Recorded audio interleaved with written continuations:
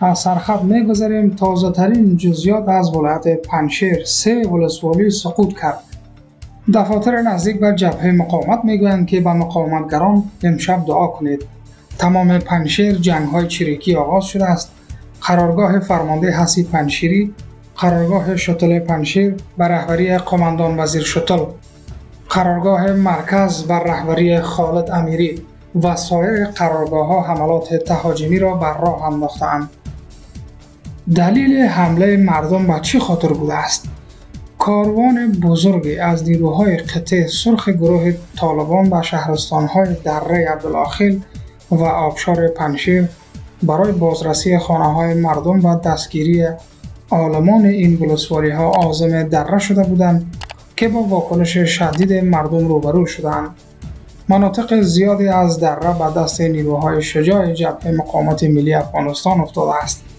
پنج واسطه دشمن به غنیمت گرفته شده و 13 نفر از کشته شده های اشغالگران در محل باقی ماندهاند. مرکز این شهرستان ها در محاصره کامل ما قرار دارد و به زودی از فتوحات تازه خواهیم نوشت. گرفته شده از برگه رسمی سبقت الله احمدی این در حالی است که سمه در رئی چنین نگاشته است شکست طالب به خیر کلید خورد ولسوالی های آبشار و دره در شکست دشمن یک موفقیت خیلی استراتژیک است. این دو ولسوالی که به خیر فتح شوند ولسوالی های پریان و خنج خود به خود سقوط می کنند چون راهشان در مسیر سرک قطع می شود و همچنان هرگاه فاتحان دره از راه عبدالاخیل به طرف حسارک بروند و با چیریک های حسارک به ولسوالی رخه حمله بکنند بازارک با تمام ملحقات ولایت در محاصره قرار می گیرند و انشاءالله که هیچ کدامشان زنده بیرون نمی شوند و همین طور مردم کاپیسا و پروان و شمالی تا کابل هیچ کدام از متجاوزین را زنده نخواهند گذاشت. ظلم تابان سنگینی دارد. نویسنده سمی درهی اکنون می‌پردازیم به مطلب به نهایت مهم. پیش خود یک بار فکر و تصور کنید که اگر احمد مسعود و همرزمانش مقامت ملی را برپا نمی‌کردند اگر این مقامت ملی با جنگ مسلحانش با لابیگری و فعالیتهایش در عرصه بین الملل حاکمیت طالبان را زیر سوال نمی برد چی وضعیتی بر سر تاجکان می آمد به لحاظ روانی ما مردمان ضد طالب چی وضعیتی می داشتیم؟ به لحاظ عملی طالب چی دستاوردهای بزرگی را در عرصه داخلی و خارجی می توانست داشته باشد؟ مقامت ملی تحت رهبری احمد مسعود تاریخ را به سمت دیگر رهنمون گشته است. تاثیرات این مقامت حماسی و تاریخی و فراموش ناشدنی را در آینده بهتر و روشنتر درک خواهیم کرد. این مقامت همه رویاهای طالب و بادرانشان را به کابوس تبدیل کرده است. به مردم امید بخشیده است. یک شور و شوق و دلبستگی شگفت آوری را برای آزادگی و شکستن زنجیره های اسارت و استکبار در مردم برانگیخته است. احمد مسعود تاریخ ساخت و مسیر تاریخ کنونی را تغییر داد. از این به بعد فقط یک راه و یک منزل است.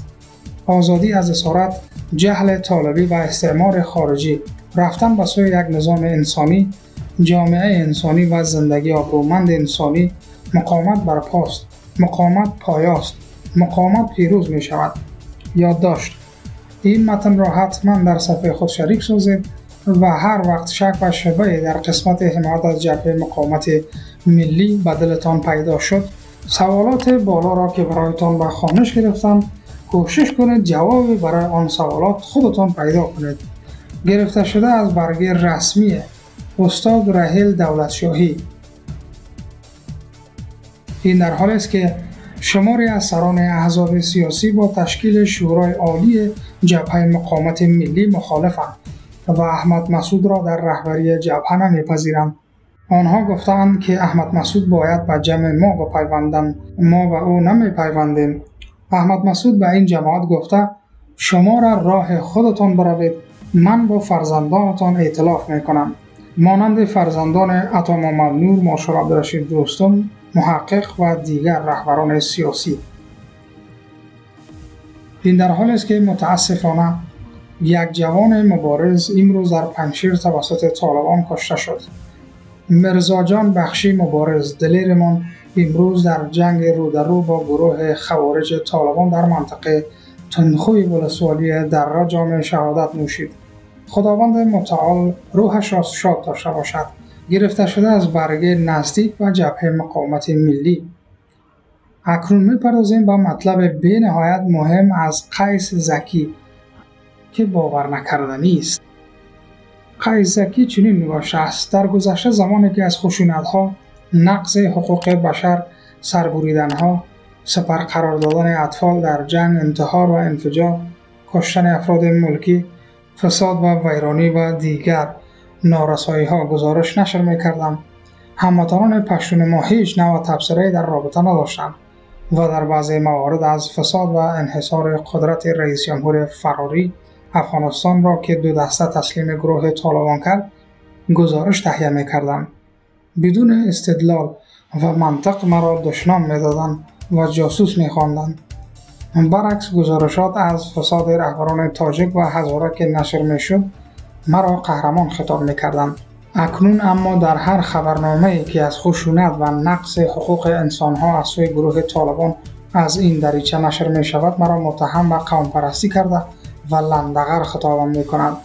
اگر بیطرفی و نشر حقایق پنهان خشونت ها نارسایی ها وظیفه یک لندغر است بدون تردید من هم یک لندغر هستم و به لندغر بودن خود افتخار می کنم.